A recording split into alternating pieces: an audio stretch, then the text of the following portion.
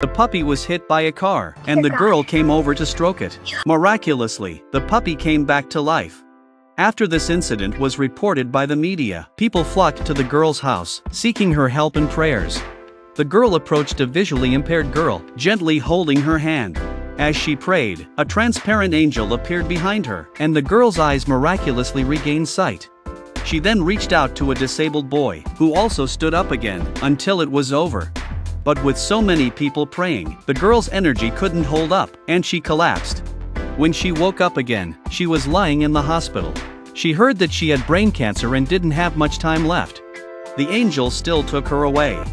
They brought the girl home, grieving, and then they discovered two drawings, one depicted the angel taking the girl away, while the second showed the angel bringing her back.